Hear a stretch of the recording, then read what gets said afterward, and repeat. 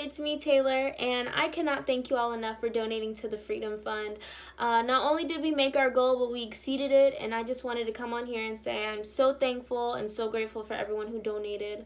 I also want to use this time to say Black Lives Matter, always have, always will, um, and that I don't feel that operating from a space of fear is freedom.